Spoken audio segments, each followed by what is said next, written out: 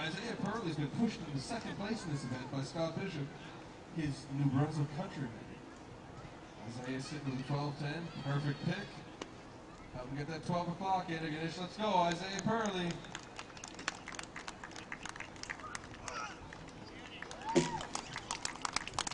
Eleven fifty-five. He improves by five minutes.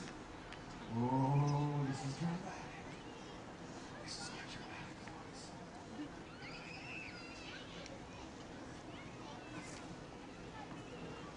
Up now is Alex Bond, first year competitor from Greenwald.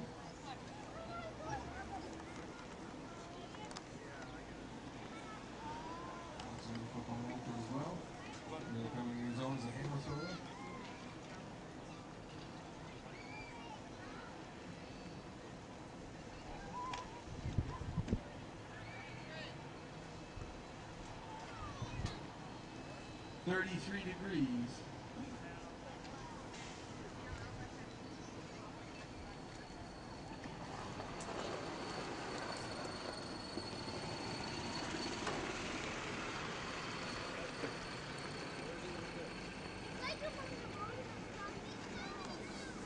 And head trade official Craig McDonald is going to take up this game a bit. It, it won't really save us a lot from breaking, but it will protect the athletes on their shoulders and their hands when a couple extra splitters. Time for Oxypose right now, the bicep. Well done.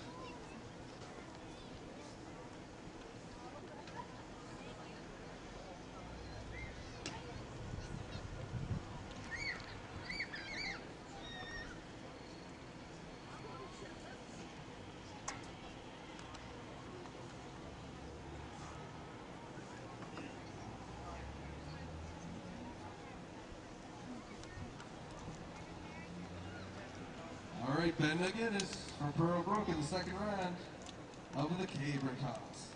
Now, the origin of the caber toss is subject of great debate. Uh, some people claim it was a logging practice to, to get the, lo- the log to flip into the center of the river. This is a really hard way to make that happen. Uh, others claim that while the Romans were in Scotland for a short time, a perfectly flipped caber would have been a, a bridge or a ladder to climb up over the road of. Pull, Ben. 18 degrees. Ben's going to stand the caber now for Susie. Uh, still others claim it was the fertility ritual. So think about that for yourselves. But we've kind of come to the conclusion, and we accept that it might have just been a drunken day. Susan Lajoie, 19 years old, from Middleton, Nova Scotia. Let it go, let it go. So. As soon as the caber breaks the ground, as soon as you can fit a sheet of paper underneath it, that is an attempt. And Susie is having a little trouble with the, the width of the bottom of the caber. Uh, a lot of taller sticks are much narrower. It's easier to get but she can make some adjustments. John Morrison now all the way from Regina, Saskatchewan for this Canadian Championship, his second visit in English. This brings a good account to himself.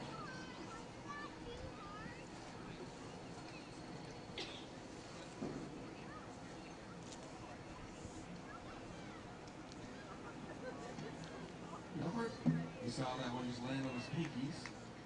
30 degrees for Sean Morrison. So you see everyone's really trying to avoid this hard strip of ground in the middle. You all want to land that nice, soft, soft area. Mid Judge Billy Morris taught me long ago to look for the lowest, wettest spot in the field.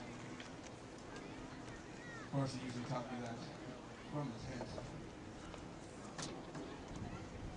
The driest, coolest, most relaxing place. Here's Blake McGinnis. All you caffeine fiends might recognize him from the James Street Tim Hortons. He's a barista. Yes.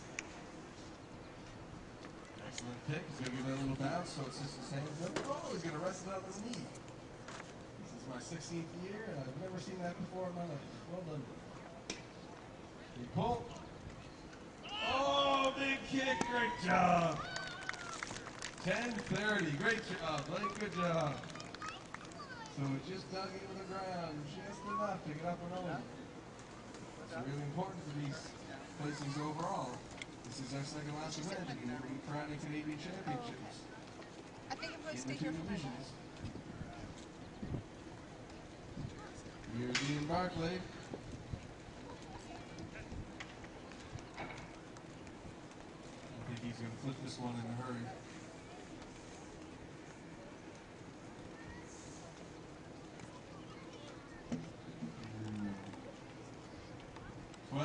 Five. I agree with that call very well.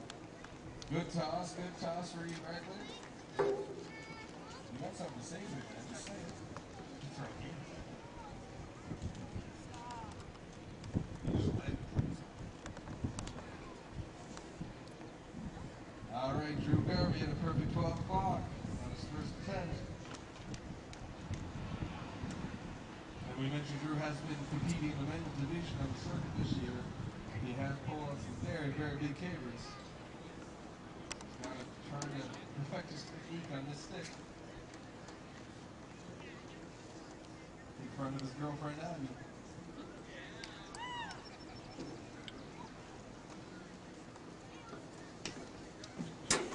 Twelve o'clock. He's pretty good at this event, folks. Two 12 o'clocks for Drew. That was the economy of motion right there. Well done, sir. Very interesting, folks. On his first attempt, Scott Bishop had a something in the middle 60 degrees. On his second attempt, he had 12 o'clock perfect throw. But making on his heels, five minutes away is Isaiah Perfect. So Scott, if he wants to lock this event up tight, he needs another 12 o'clock right here, where the door is still open. The youngest man in the competition, among the, most well coached.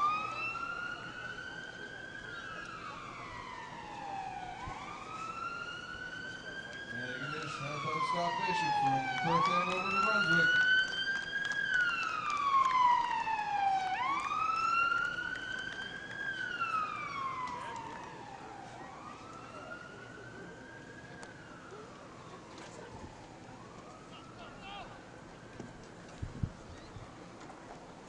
Two o'clock. All right. And- I think we got away from something a bit there. Maybe the wind caused it.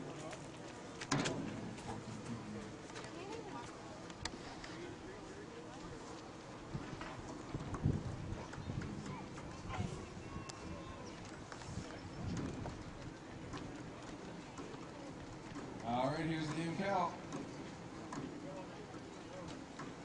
Great pick, Liam, and explode. Oh, your best attempt. Very good. 55 O's. There's Billy Morris. Best attempt, Liam. That's great for your first year, buddy. You're good in the kill, too. Liam's going to be in the parade tomorrow. Invite everyone down. It's going to be a great event. 11 pipe bands. I think that elite mile is going to be really exciting too. The one mile race that precedes the uh, parade. I think that's a really good addition. Looking forward to it. Here's Patrick Lyons, third and final attempt on this 14 foot caber. He's a first year competitor, folks. If he, if he flips this, it'll be the biggest caber he's ever flipped. Hard lock. That's a foul. Nope. Here's Frank McLeod. We know he wants this one pretty bad.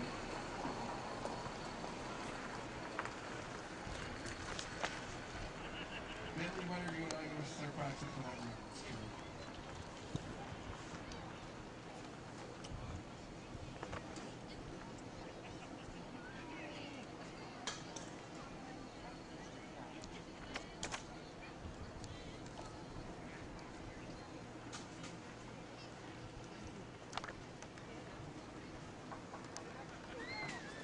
right, Frank McFarland.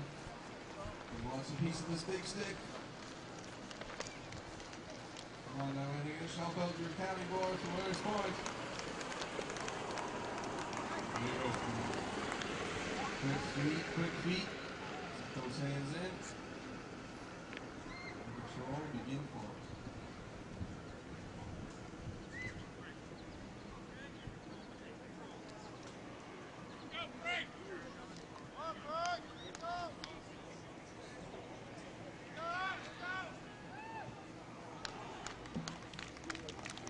48 degrees. Good effort, Frank. Great control of that camera.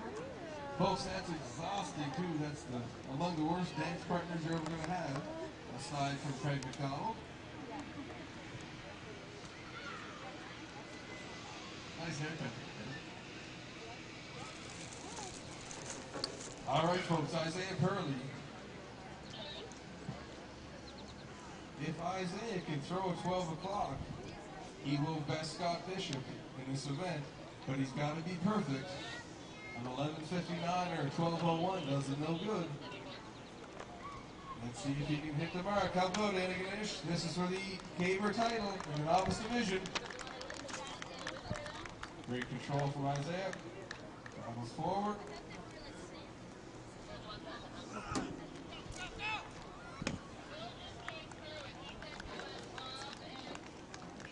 It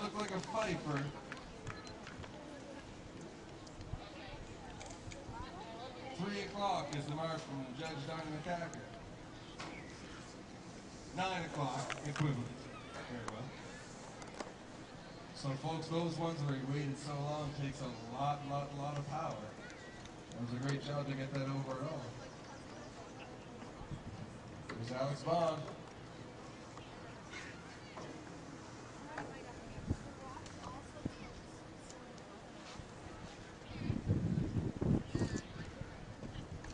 Great attempt, Alex. Well done. 43 degrees.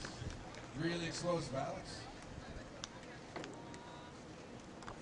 Rounding out our novice competition is Ben McGinnis, third and final attempt in the 14-foot caber toss.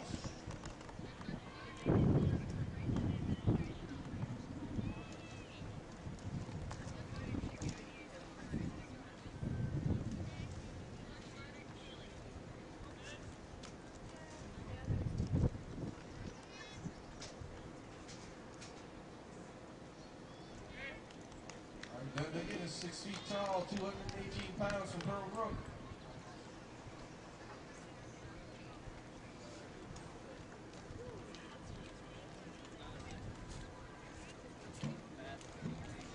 Little bit further forward, huh?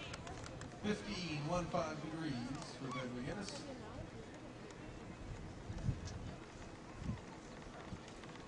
Here's Susan Lajoie, third and final attempt.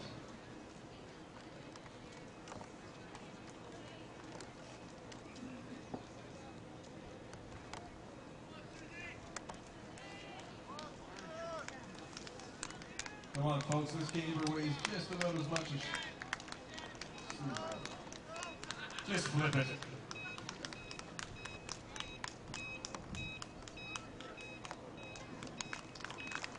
Twenty-five. Same thing. Her hands separated there and traveled forward like a gentleman. That's a good throw for Susie, though. She's got a lot of power for these events.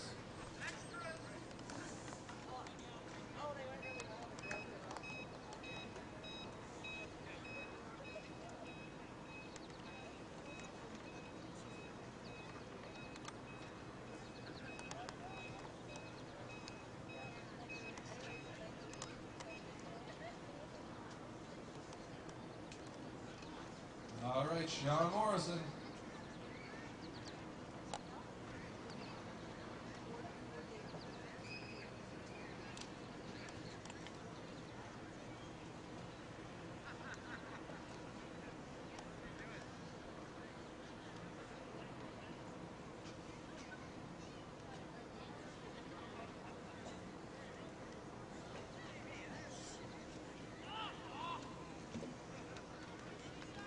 Seventy-seven degrees for Sean Morrison.